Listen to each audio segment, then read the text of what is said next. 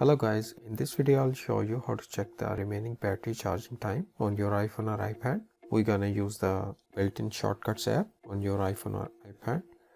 If you are using any older version of iOS or iPad OS, then you can find this app from the App Store. So let's see how to find the remaining charging time of your battery.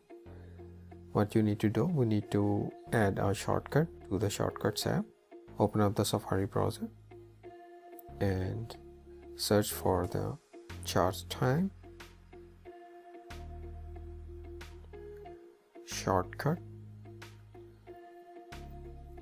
Here you can see the first search result which is from the shortcutsgallery.com and you need to open it.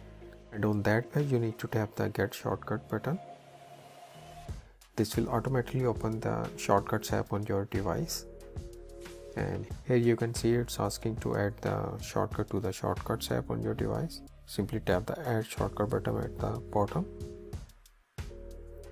And this will instantly add this shortcut.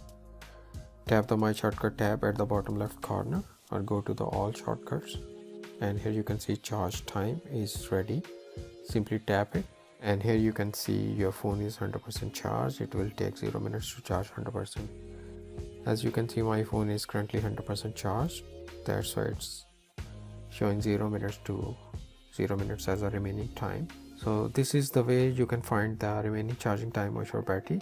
This is quite useful when you want to find the remaining charging time of your battery. If you have any questions please leave a comment below and please subscribe to my channel